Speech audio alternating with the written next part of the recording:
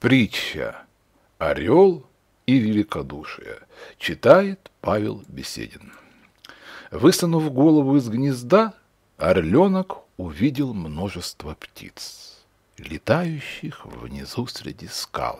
«Мама, что это за птицы?» – спросил он. «Наши друзья», – ответила орлица сыну.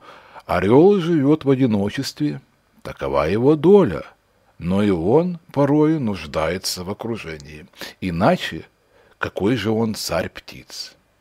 Все, что ты видишь внизу и всех, это наши верные друзья.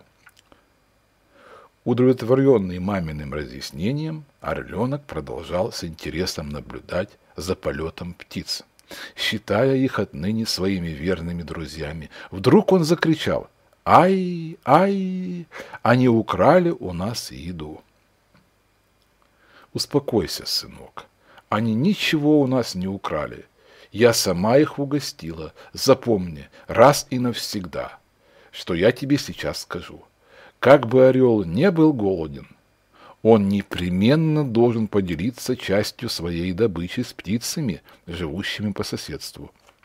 На такой высоте они не в силах найти себе пропитание, и им следует помогать. Всяк, кто желает иметь верных друзей, должен быть добрым и терпеливым, проявляя внимание к чужим нужным.